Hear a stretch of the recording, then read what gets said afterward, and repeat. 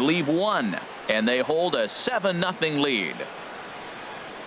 Back now in the beautiful Pacific Northwest as we're set for what's left of this one from Safeco Field. Digging in and looking for more, Robbie DiBiase. And Dan, what's gone wrong for this lineup today? They're only three outs away from being shut out. Boy, you know, I just haven't seen a lot of fight in these at-bats. Now, of course, plenty of credit goes to that pitching, but the effort on the offensive side has been pretty lethargic watching from up here in the booth, Matt. Yeah, I would imagine it feels the same from watching in the stands in this one. DJ Johnson started to go around, but it's a called strike 0-1. That misses wide. One ball and one strike. Uh, and that fastball's too much for him there. One and two. Wow, he's cruising right now out there. Four straight punch outs and working on number five. So he punches him out looking at the fastball. DJ Johnson is retired, and now they're down to their final out in this one.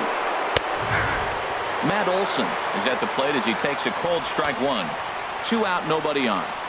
And that's cut on and missed, so now the A's are down to their final strike of the ballgame. Swing and a miss. He struck him out, and that'll do it here as the ball game is over. Well, I'm kind of running out of words to describe how incredible this winning streak has become every win just cements their legendary status, and it's not even over yet. A 7 0 shutout final score tonight.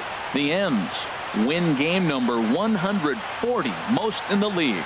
Stephen Strasburg records victory number 28, striking out 12 in the process.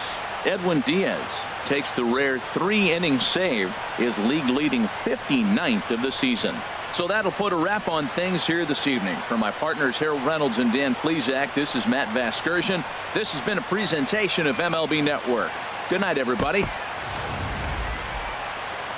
Our final line score tonight. First for the victorious Seattle Mariners. Seven runs on ten hits. No errors. They left two men on base. For the Athletics, no runs, three hits, no errors. They left three men on base. Time of the ball game, three hours and nine minutes. A reminder that extra post-game trains will be available at the King Street Station, located just north of Safeco Field.